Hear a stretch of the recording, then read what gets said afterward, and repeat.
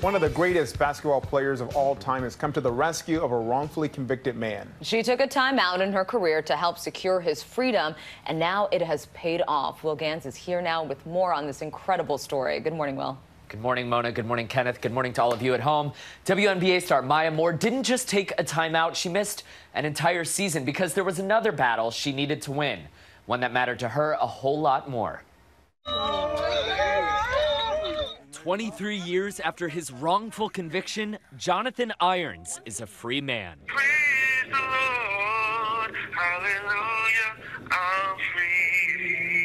WNBA star Maya Moore giving up her 2019 season to help Irons overturn his conviction on charges of burglary and assault. I'm dedicating my life to freeing Jonathan the same way I dedicated myself to each game in the WNBA. Moore's family met Irons through prison ministry. She and Irons introduced in 2007, just before her freshman year at UConn. Irons was 16 years old, tried as an adult, and convicted by an all white jury to 50 years for assault and burglary. But Maya, working in tandem with his team of lawyers, saw holes in the prosecution.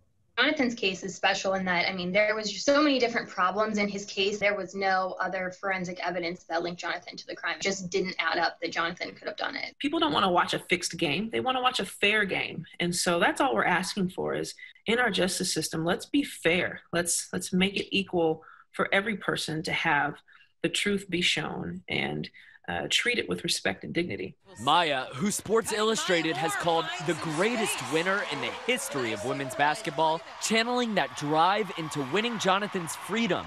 His conviction overturned this March, paving the road for his eventual release after more than two decades of incarceration.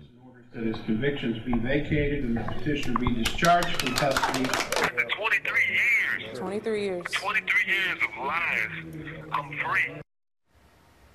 Unbelievable. When asked about the man who wrongly identified him, Irons said that he was, quote, a victim once by the person who burglarized his home and assaulted him, and he was a victim of the police who manipulated him into identifying me.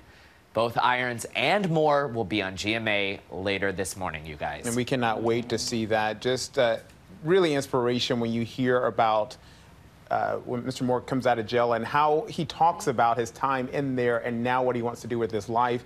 Uh, we've seen other stories like that when it comes to Brian Banks, other people who've been wrongfully convicted, and then they come out just trying to want to live their life and make this world a better place after being unjustly treated. Well, thank you again. We appreciate it. Hi, everyone. George Stephanopoulos here. Thanks for checking out the ABC News YouTube channel. If you'd like to get more videos, show highlights, and watch live event coverage, click on the right over here to subscribe to our channel. And don't forget to download the ABC News app for breaking news alerts. Thanks for watching.